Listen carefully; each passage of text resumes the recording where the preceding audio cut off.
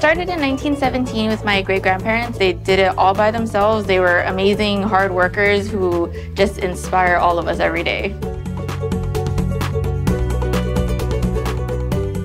This hotel and restaurant means a lot to me. This is our legacy. This is where I grew up. I have been working in the restaurant from the time I was tall enough to reach the kitchen sink. Our operation is now the longest ongoing restaurant operation ever in the history of Hawaii. And that's something that we're very, very proud of.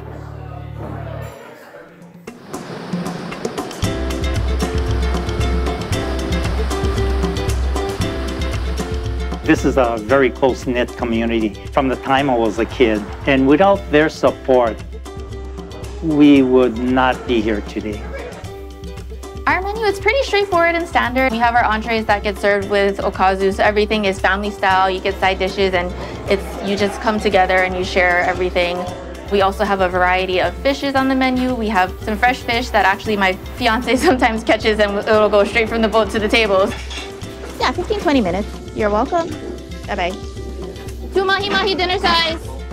We're very well known for our pork chop, something super simple, but it's just good comfort food that just reminds you of home.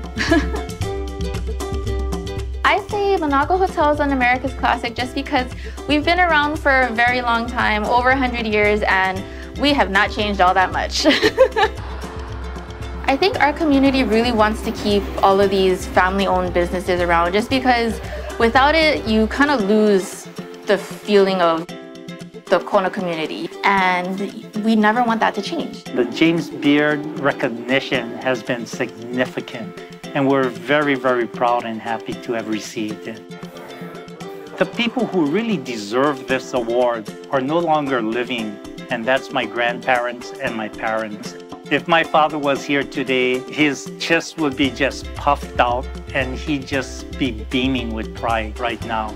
My grandparents, my great-grandparents, my parents, they're all so proud of this award because of how much hard work has gone into this. And really, they deserve this so much for everything that they've done.